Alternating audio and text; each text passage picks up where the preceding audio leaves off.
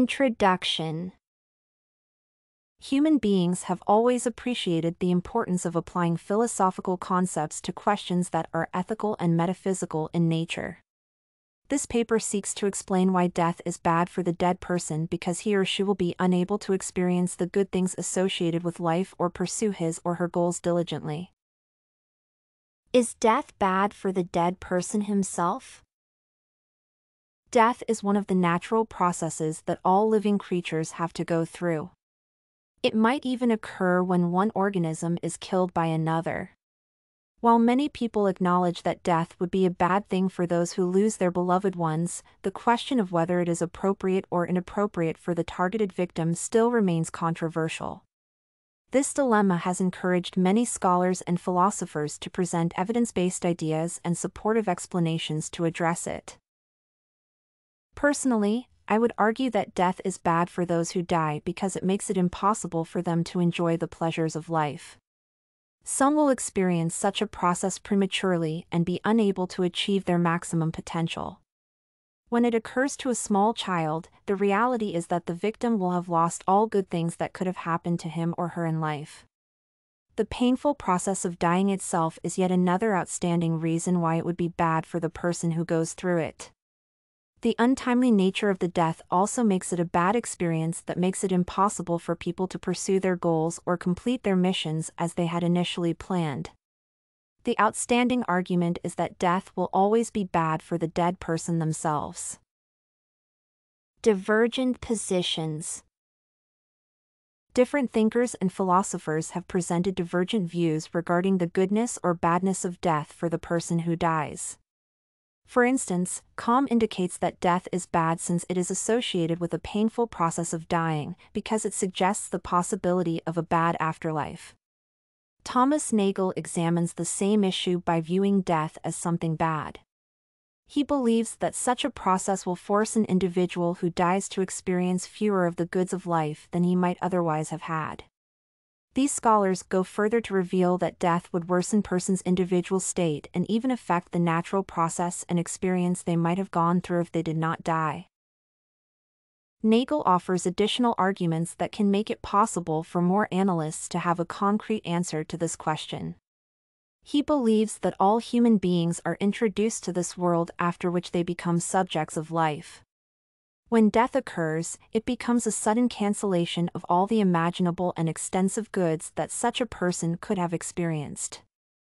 When one dies earlier, he or she will be unable to have such positive experiences.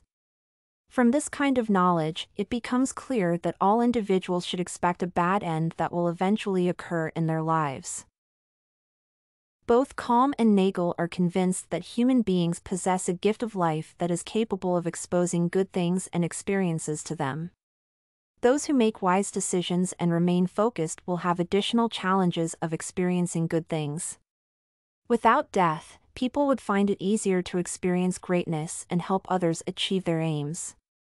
Unfortunately, its occurrence makes the dead person incapable of experiencing such good things.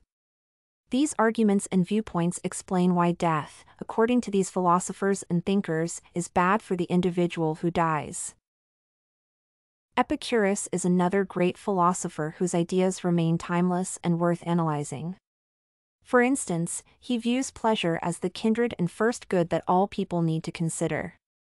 With such an idea, individuals will have a background to avoid any danger and pursue good choices in life they will make such a feeling the primary rule by which to judge of every good thing. According to Epicurus, it would be inappropriate for individuals to fear death. The argument he presents is that it is associated with pain and even makes more individuals restless. Those whose view it differently, according to this thinker, would be foolish. Epicurus believes that people need to embrace a new form of thought that guides and encourages them to appreciate death as nothing to them. Instead, they will realize that such a process will make it easier for them to escape all sentience. It becomes quite clear that death is good to the individual who dies because it makes the mortality of life enjoyable, not by adding to life a limitless time, but by taking away the yearning after immortality. This kind of wisdom will make it possible for more people to lead their lives pleasantly and do not experience the fear the death. Objections and rebuttal.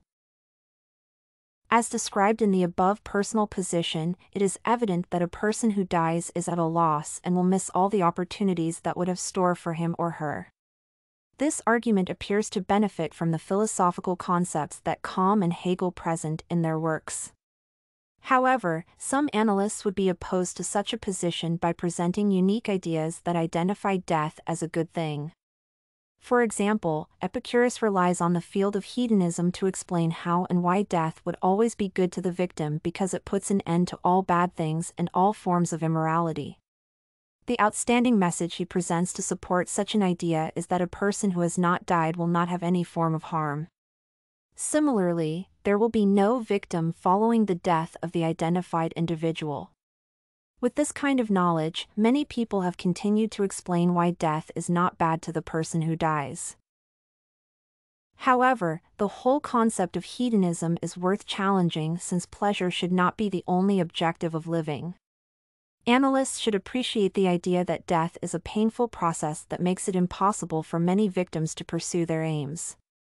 Such a process will deprive the victim of his or her further life and be unable to achieve the goals originally formulated the intrinsically good experiences and achievements will no longer be available to the person who had died. Conclusion Unlike Epicurus, Nagel and Kamm offer evidence-based thoughts that readers can consider to understand the nature of death. In conclusion, people need to identify death as bad for the victim because he or she will be unable to experience the good things associated with life and pursue the formulated goals diligently. StudyCorgi.com has everything you need for successful studies. Writing tools, informative articles, and essay samples. Come check it out!